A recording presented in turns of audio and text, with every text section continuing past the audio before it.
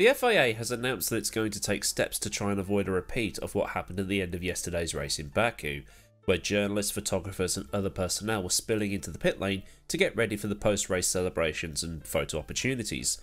The problem is, as they were doing this, Esteban Ocon's Alpine was heading into the pit lane at close to 200 miles an hour. Ocon and by extension Hulkenberg had not made a single pit stop during the course of the race, both drivers, it seemed, were trying to play to the statistics of Baku having red flags and safety cars late on in the race to try and get a free pit stop, since, you know, you can swap tyres and do a red flag.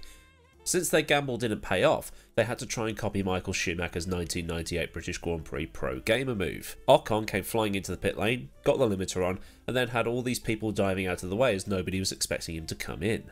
Now, in this era of Formula One, it's supposedly all fine. The cars have speed limiters, it's not like the days pre 1994 when cars racing at Monza could easily be entering the pit lane at over 200 miles an hour.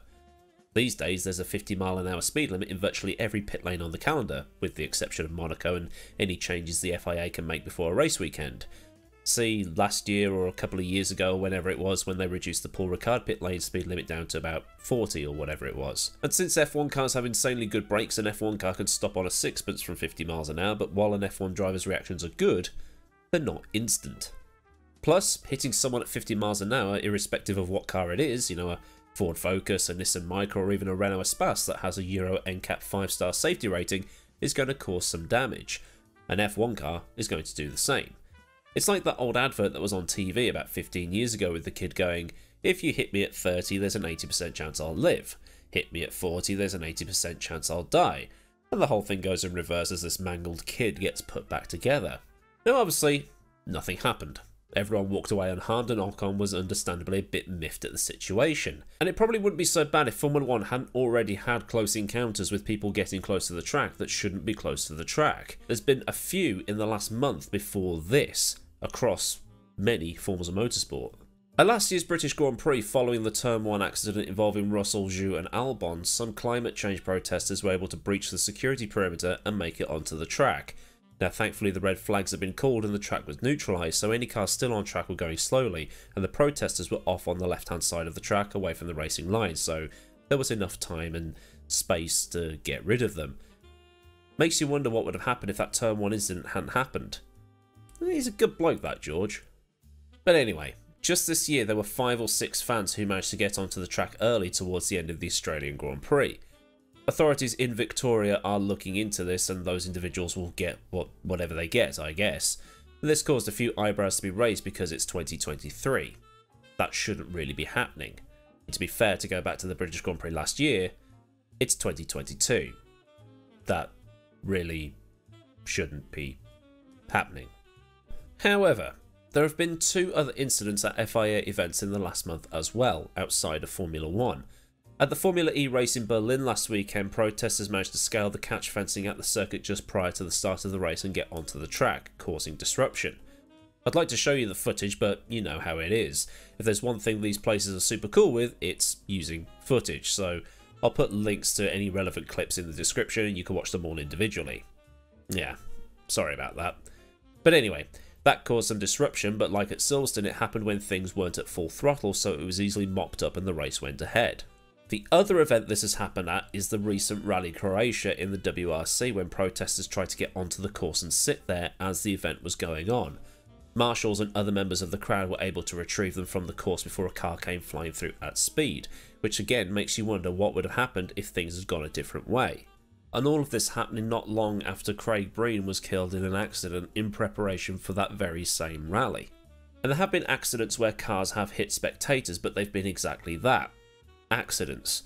Carlos Sainz in the 2001 RAC rally hitting some spectators, the accidents in Group B, and so on. Now, at a rally, it's quite open. It's too open to close off everything, but on a closed circuit, you've got way more control. Now, the Baku incident is a little different to the security breaches, I admit, but it's yet another time the FIA has come under the microscope for a hang on, how can this be allowed to happen moment? Because the FIA has admitted that doing what it is doing was not unusual and happened quite often, probably because nobody's ever expecting a car to be pitting on the last lap of a Grand Prix.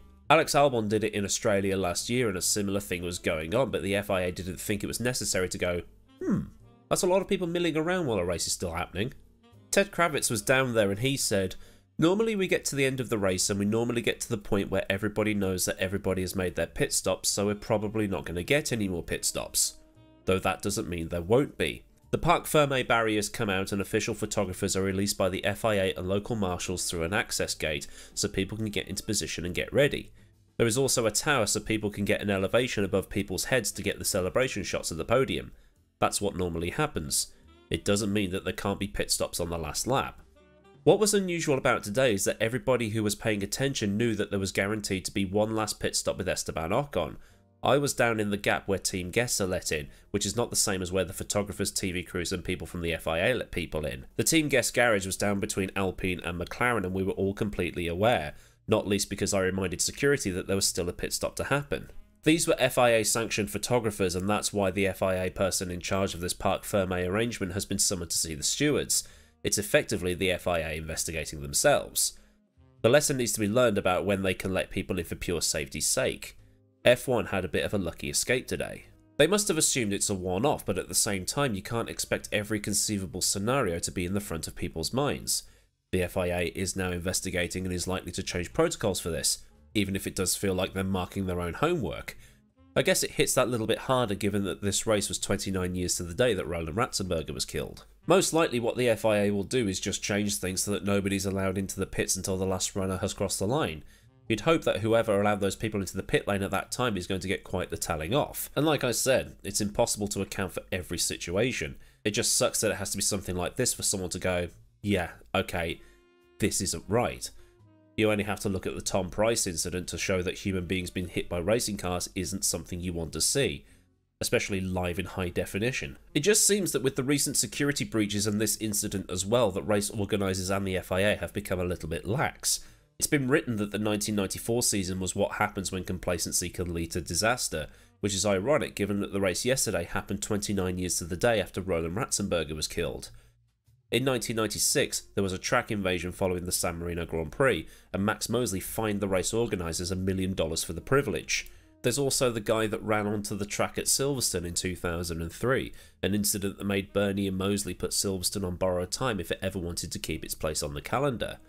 There's also the ex Mercedes employee running onto the track at Hockenheim in 2000.